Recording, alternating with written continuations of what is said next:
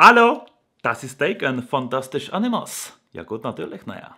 Prostě já jsem řekl všechno, co jsem říct potřeboval, takže pokud máte návrh na nějakých dalších 20 faktů, nějaký oblíbený filmy, seriály a takovýhle věci, hoďte like, napište to do komentů a my Jdeme na fantastická zvířata a kde je najít. Úplně všichni, ať už to byli herci nebo člověk, co zajišťoval catering, museli povinně zkouknout všechny díly Harryho Pottera. Každý herec, který ve filmu používá kouzelnickou hůlku, si její design sám vytvořil. Když se Eddie Redmayne připravoval na svoji hlavní roli, tak trénoval se skutečnýma krotitelema zvířat a chovatelama v zoo. Rowlingová si Eddieho Redmayna pro hlavní roli vybrala okamžitě, ani nemusel být žádný konkurs. Věřila, že Eddie je pro tuhle roli jako stvořený a on jí na oplátku pomáhal s vybíráním ostatních herců. I když se film odehrává v New Yorku, žádná scén v celém filmu nebyla v New Yorku natočena. I když pečivo z Jacobova pekařství vypadá opravdu dobře, asi by vám moc nechutnalo.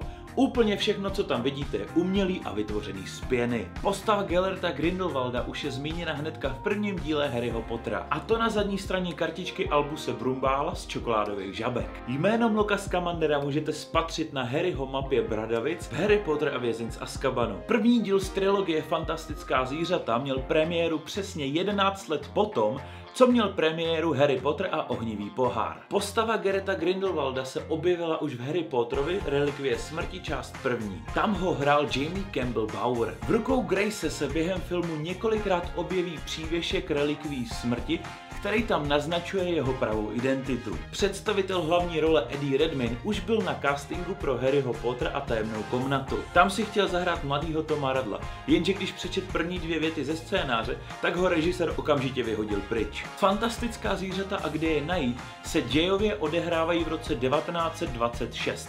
To je ten samý rok, kdy se narodil Voldemort. Po vydání filmu se Daniel Radcliffe hrozně moc rozčílil, že Eddie Redmayne měl lepší kostým než Harry Potter. Danielovi prej hrozně vadilo, že 10 let musel natáčet v mikině a džínách, kdežto Eddie dostal kabát. Finální scéna s Johnny Deppem se natáčela v zimě a byla pod přísným utajením. Úplně všichni účinkující museli podepsat dokument o mlčenlivosti, včetně Johnnyho Deppa, který i před novinářema svoje natáčení ve fantastických zvířatech popíral. Eddie Redmayne si zamluval vztah mezi fantastickýma zvířatama a mlokem. Všechny ty zvířata jsou samozřejmě dělaný počítačově, takže ve filmu je zastupovaly loutky. A Eddie si každou loutku spojil s tím daným počítačovým zvířetem, pamatoval si, jak je velký, jak vypadá a hlavně, jaký má povahový rysy. A když už jsme u těch zvířat, tak Mlokovo nejoblíbenější zvíře byl kuroles ten žije v kapse jeho kabátu. Já doufám, že se vám tohle videjko líbilo. Pokud byste chtěli nějaký další zajímavosti z fantasy světa nebo třeba přímo z Harryho Pottera,